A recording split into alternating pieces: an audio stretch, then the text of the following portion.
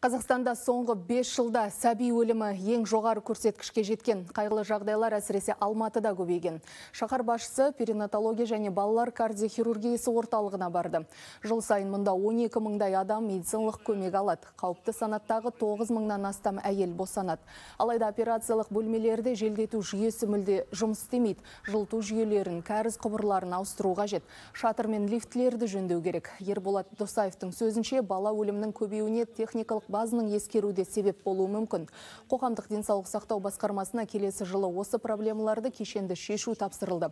Сондай-ақ әкім нөмірі 22 қалалық емханаға барды. Мекеме бір ауысымда 200 келушіні қабылдайды, яғни шамадан тыс жүктеме бар. Бұл мәселені шешу үшін Саялы шағын ауданында отбасылық дәрігерлік амбулатория құрылысы жүріп жатыр.